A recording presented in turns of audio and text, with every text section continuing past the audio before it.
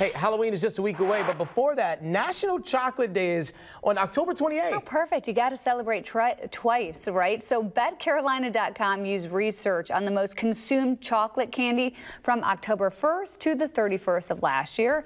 They determined the top three chocolate Come candies on. in each state.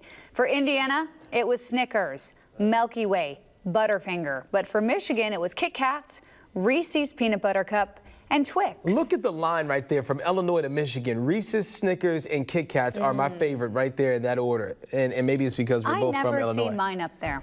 Which is? Raisinets. Jack. It's controversial. Right. It's controversial. but Controversial means people are talking about it. I, I don't know. I started, I remember I I, went to a movies not too long ago and I posted the picture of the popcorn with the Raisinets on top. And I think I got 200 comments saying, what is that? Outside of Raisinets, what's your Reese's, favorite? Reese's, Reese's, yeah, Okay. yeah. All right, Raisinets.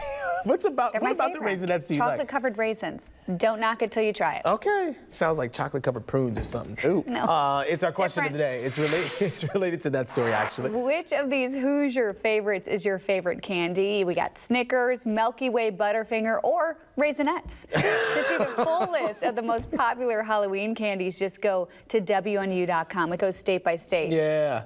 I think a lot of people are with me on this. I don't know. I mean, then again, Anyone in this room? Reese's aren't on this. Our guest says yes. uh, we, yeah, Raisinets? Raisin, we just canceled the guest segment. We just canceled the guest. You really? All right. Wait until you see our guest, dude. Let me tell you, she's got some delicious stuff, and she uses She Raisinets knows to make good them. taste.